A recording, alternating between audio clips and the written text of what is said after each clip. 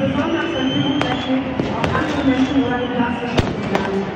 Norris has highly willing to support other officers.